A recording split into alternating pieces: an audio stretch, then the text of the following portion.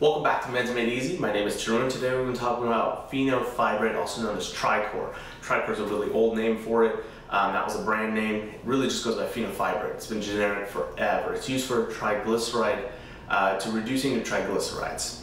Um, and as well as your cholesterol. So hypercholesterolemia and hypertriglyceridemia. Those are the official things for it. So the way that it works is in the pathway to creating triglycerides, this actually uh, reduces and increases fatty acid, fatty acid oxidation, which removes the the precursors for your body to make triglycerides. So it's really, really effective at decreasing your triglycerides.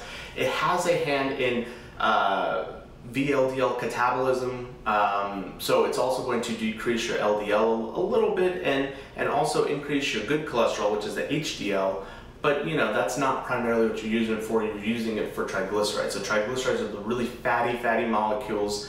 Uh, so if you're eating a lot of fried foods, uh, chips, anything that's highly processed with oil, you're going to see an increase in your triglycerides, right?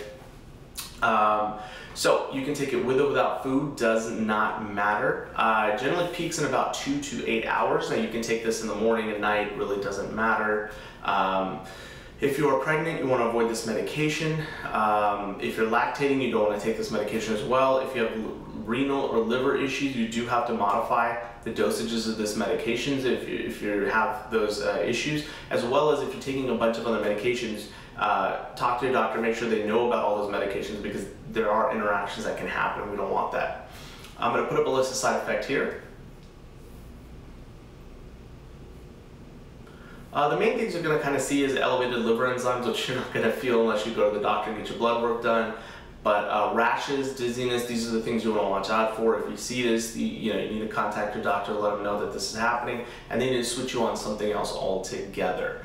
Um, all in all, very effective medication. You generally pair it with uh, an anti-cholesterol medication too if you have high of both. If you're high triglycerides and high cholesterol, you generally take both and then that usually does a good job at decreasing both at the same time. But you also have to make diet changes as well. If you keep eating fried foods and stuff like that, this is this isn't going to help too much because you're just adding on to the existing damage in your body. But change your diet, take this medication, your triglycerides will go down. So guys, questions, concerns, leave them down below. Hit subscribe, below, let us know how we're doing, and we'll see you next time on Meds Made Easy.